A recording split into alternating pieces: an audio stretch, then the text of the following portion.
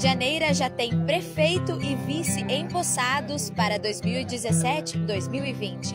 Eleitos com 54,56% dos votos, Ricardo Indrigo e Neguinho foram conduzidos ao cargo juntamente com os nove vereadores.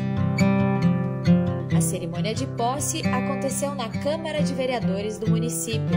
A solenidade foi prestigiada por familiares dos empossados, convidados e populares.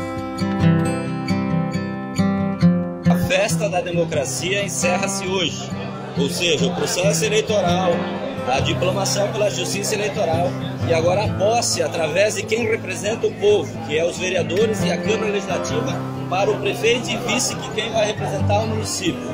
Encerra-se essa fase e começa-se a fase da administração, ou seja, do trabalho, de colocar em prática aquilo que foi a nossa proposta, o nosso plano de governo para os próximos quatro anos.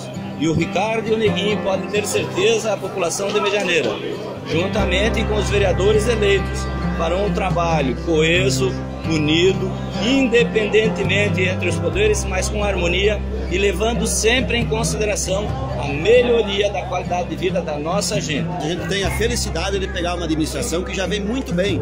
Então isso faz com que se torne mais fácil o começo. O difícil é você dar continuidade e buscar novos investimentos. Mas eu acho que a competência do Ricardo e a minha experiência na área administrativa privada, é, ela vai agregar muito e a gente vai conseguir novos incrementos no município de Medianeira. É, são as pessoas o objetivo e a direção do nosso trabalho.